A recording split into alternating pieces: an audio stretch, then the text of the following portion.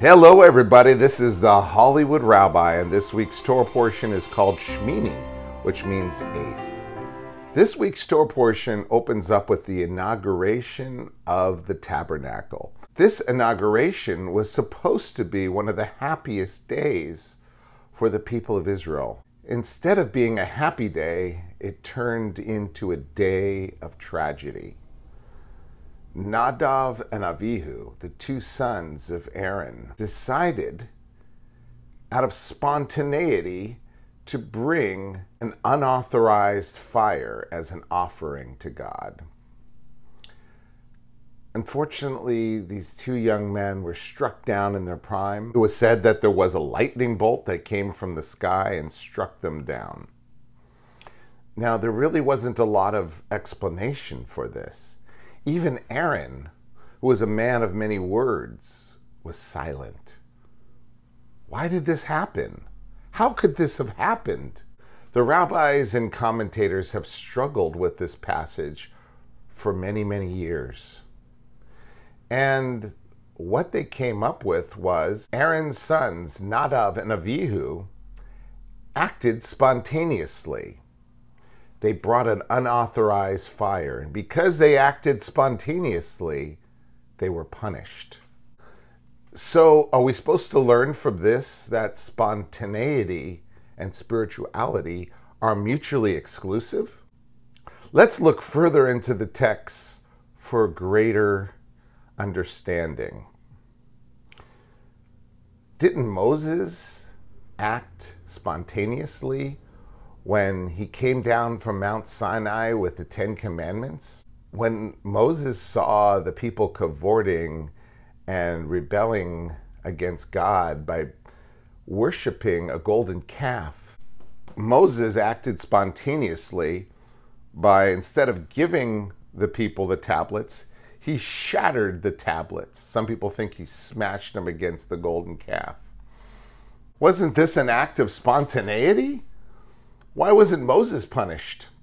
Instead, the text said God consented to his act of shattering the Ten Commandments. And he actually said, More power to you. So, is, how do we resolve this conflict between structure and spontaneity? Well, we have to look at the roles of Nadav and Avihu.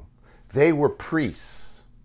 Priests are not supposed to act spontaneously. The service is supposed to be structured. Even the priestly benediction today is exactly the same way as it was thousands of years ago.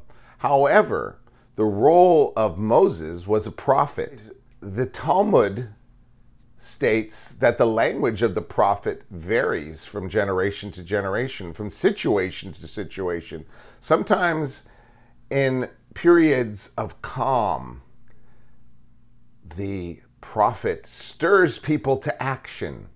And in times of despair and tragedy, the prophet changes his tone and speaks in terms of redemption and inspiration and hope and resilience. So the role of the prophet is spontaneous by nature, it's situational. But the role of the priest is structural. We have inherited both traditions. We need the freshness of spontaneity to invigorate us with inspiration, yet we also rely on structure to keep us from straying from the spirit of our laws and our traditions. So let's practice the traditions of structure and spontaneity in our lives so that we can have the greatest amount of success and achieve a closer bond with spirituality and with our fellow humans.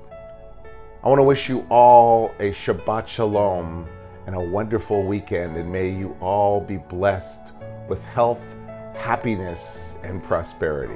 it'd be awesome if you'd like this video, hit the red subscribe button, and turn your bell notifications on so you don't miss out on any weekly videos I put.